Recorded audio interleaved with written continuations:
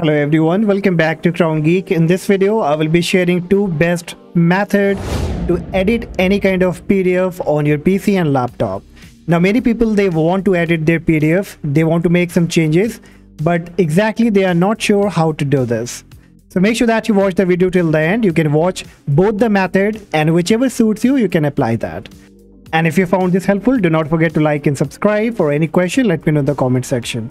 Now right now I have a PDF here I just took this for example so that I can show you how you have to do it. So let me quickly open it.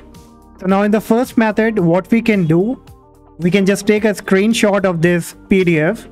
From your keyboard, you need to press the control and the print screen key.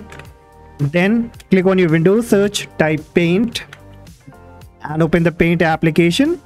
Now paste the document that you just screenshot and it will be coming up like this. Now what you have to do from the left and top, you have to click on crop and then crop that exact document that you just copied. Then you have to click on crop and you can see it will be coming up like this. Now what we have to do, we just need to edit it. So in order to edit, like let's say that if I want to remove this rectangle, so you have to click on this erase button icon and then either you can just erase like this or you can click on this select icon and choose rectangular selection.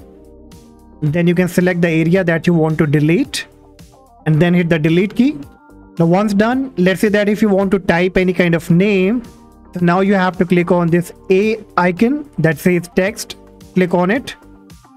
And then you have to click exactly where you want to start typing.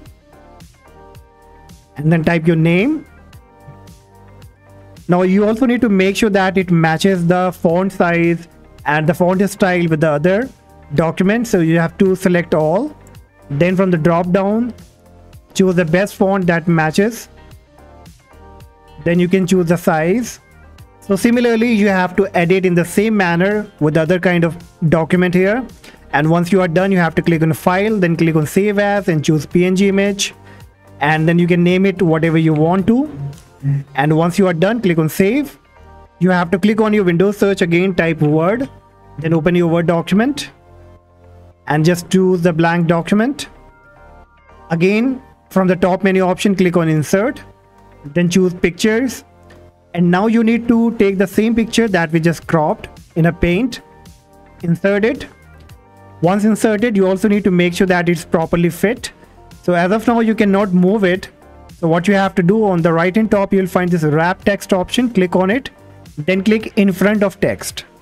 And now you can manage it. You can drag it. So adjust the size according to the page. And once you are done, again click on file, then click on save as, then click on browse. And now you have to just click on the save as type drop down, choose PDF, and then choose the location where exactly you want to save, then click on save. Alright, so now you can see we have edited the document and now it's in a PDF document. So this was the first method. Now in the second method, what you will have to do, you just need to convert this document into a Word document. So let's say that if we have this document, so you have to go to Google and in Google you have to type convert PDF to Word.